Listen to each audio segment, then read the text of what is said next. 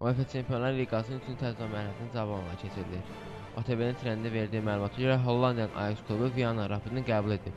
İlk oyunda 2-2 hesabı bərabər cavab oyununda isə qeydə alınıb. Lakin bu dəfə maçın 77-ci dəqiqəsinə qədər qonaqların üçüncü qolu Ajax-ı mübarizəyə yarımçı qoymağa məcbur edib.